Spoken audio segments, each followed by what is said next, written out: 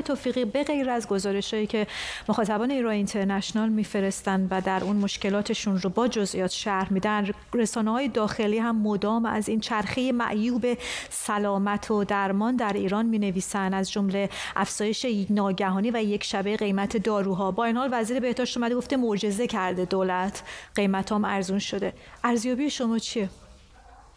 البته من یه جورایی با آقای دکتر عین اللهی موافقم که یک معجزه باید اتفاق افتاده باشه. وقتی که موجوداتی بر یک کشور کهن حاکم میشن که در طول دهه ها و قرن ها مورد اشغال قرار گرفته بارها اما هیچ اشغالگری نتونسته به اندازه اونها این کشور رو به ویرانی و فلاکت بنشونه. من فکر می‌کنم واقعا یک معجزه اتفاق افتاده. ببینید مسئله اینجاست که مسئولین جمهوری اسلامی از خود آقای خامنه ای تا وزرا و مدیران کل و تمام اجزای این نظام درک متفاوتی از پدیده ها و حتی واژه ها دارن.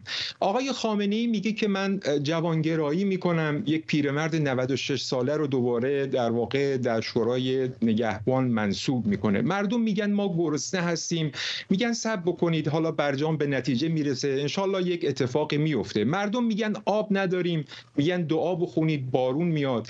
و یا میگن که دارو گرانه. گرانی دارو بر شانه های مردم داره سنگینی می‌کنه. اون وقت وزیر بهداشت وقیهانه میاد در تلویزیون میگه که در واقع به صورت معجزه آسایی این قیمت داروها حتی کاهش هم پیدا کرده. دلیل این تفاوت نگرش این عدم تفاهم به نظر من برمیگرده به اینکه اساسا سطح زندگی مسئولین متفاوته. اگه یک بار یکی از این مسئولین جمهوری اسلامی مجبور می‌شد برای نجات جان بچهش بره در صف داروخونه ها بگرده در شهر در واقع دنبال دارو بگرده دیگه امکان نداشت که این شعارها و این ایدئولوژی گرایی رو از خودشون بروز بدن. ببینید متاسفانه حاکمان ما مسئولین جمهوری اسلامی به جای اینکه به فکر حل مشکلات مردم باشند به جای اینکه به فکر تأمین آسایش و رفاه اونها باشند حافظ نظم موجود هستند و عملا منافع مردم رو دارن. فدای یک سری منافع ایدئولوژیک و شعارهای در واقع دور و دراز میدن یکی از پرسش هایی که ذهن مردم رو درگیر کرده اینه که چرا داروهای تولید داخل ناگهان افزایش قیمت داشتن؟ مگر اینها مواد اولیش خب یه بخششون می‌دونیم که وابسته به ارز هستش اما ارز ترجیحی که هنوز مدتی نمیگذره که بخواد به ناگهان چنین تأثیری رو ما درش شاهد باشیم.